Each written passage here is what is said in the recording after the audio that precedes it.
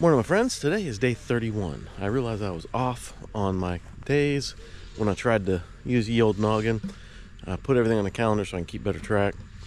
And last time we had a video, they had the rebar bent and in the footers. Um, but today the cement truck is coming. I think I hear something coming down the road, but they have the rebar up on the chairs now. So it's uh, elevated and there will be uh, pouring some footers today, hopefully. We're just waiting on cement trucks. Seems like every day is an exciting day because we got a new thing done. We have, oh look, we have a hole in the ground. Oh look, we have footers in the hole. Oh look, we got rebar in the footers. Oh look, our driveway's so much better. Well, today's an exciting day because I'm pretty sure that's cement trucks I hear over the hill. Let's go take a peek. That is a cement truck, no question.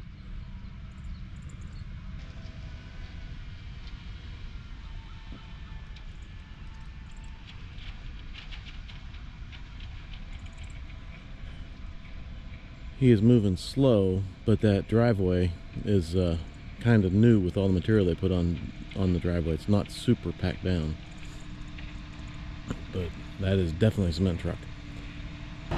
The truck is getting set up. They're putting those little extensions on so they can pour over the hill.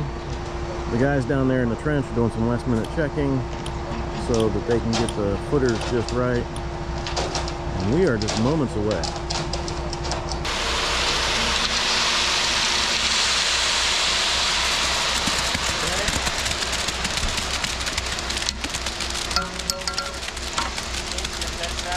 Perfect. There now.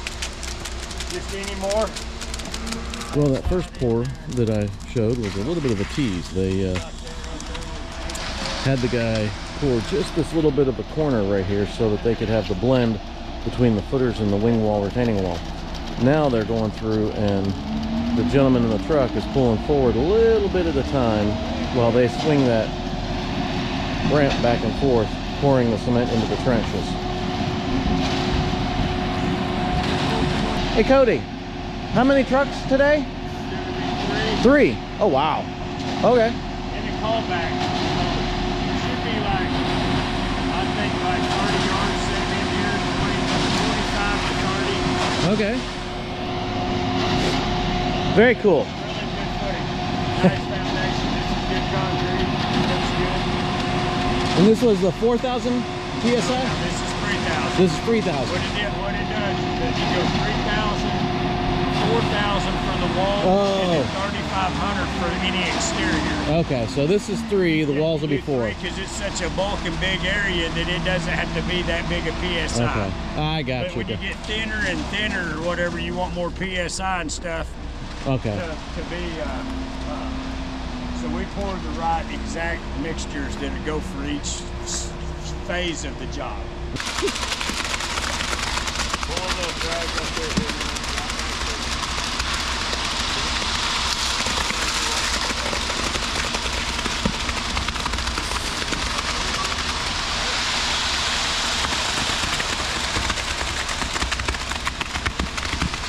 Oh.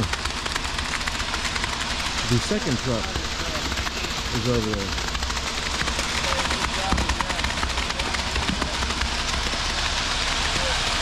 And then the gentleman in the truck, they have a little wireless remote control for uh, raising and lowering that ramp. I don't know what you call the cement, where the cement's coming down. We'll call it a ramp. There will be three trucks today. It looks like truck number two is going to pour the footers.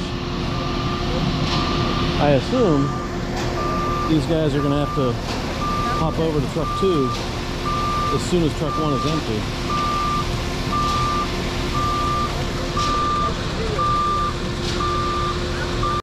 And the third truck is generating a dust storm, as I've said. A lot of construction and no rain. Truck number three.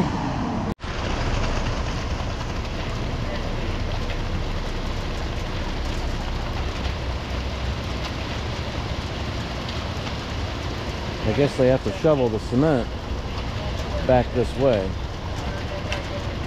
The truck backed up to the edge of that, which is going to be the support for the deck. Can't go any further. They did put some rocks over here on the right that he can back into the middle area.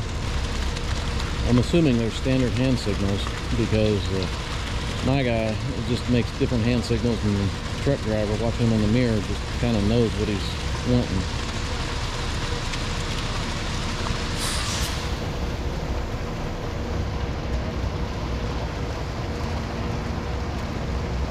If you look closely, you can see their rebar is what they're using to figure out how to keep the cement level. Everything is smoothed off to the top of these rebar posts. And they use the laser to get all these rebars set to the same level. So we got this rebar. I don't know how far apart they put it. Looks like about three foot. I don't know. Guessing. So three trucks have been here. Each truck holds 10 yards. And we ended up with a little bit of a shortfall. Here comes truck four. I hear it coming up. Oh, see truck four. It's supposed to have, it was on the callback. It's supposed to have three or three and a half yards. I forget which. I think three.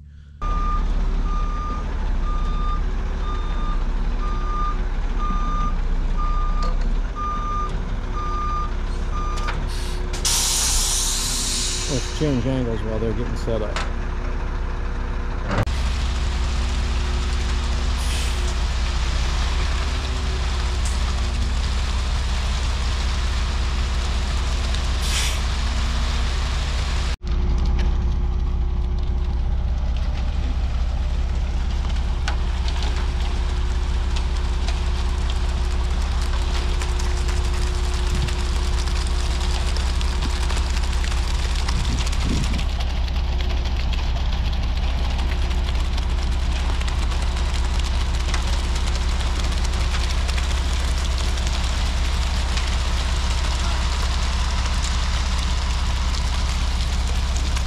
All right, my friends, it is about 24, 26 hours after they poured these footers.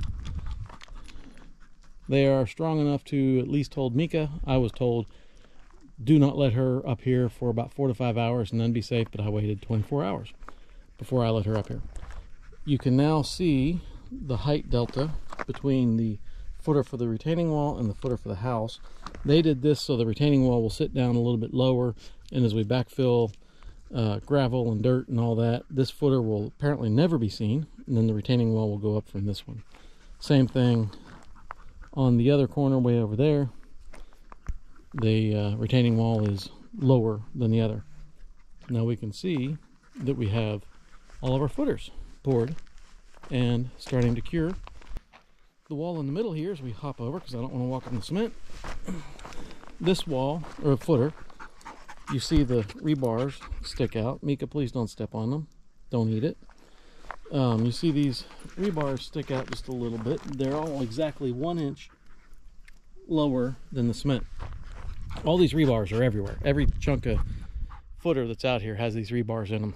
And the idea was they used the laser and the stick to make sure all these rebars were the exact same height. That way they could have level walls but we're going to put a 2 by 8 wall on this middle one.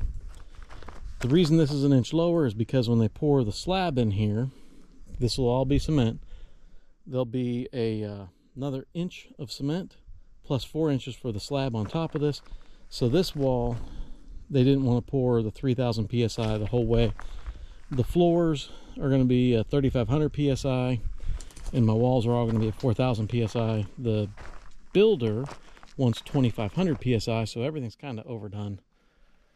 Hey i'm okay with that. And you see look how wide this t-wall is outrigger wall dead man call it what you like. I mean that is a lot of dirt. Now you understand when that t-wall is up here they build this wall that is rebarred in to this wall. If it goes to pull up it can't because there's a lot of weight back there holding it down we have footers. Next step is not for a few days. That was the cement guy's technical term every time I asked him. A few days until I finally narrowed him down to this needs to cure for five days and then he comes back and starts framing. Till next time.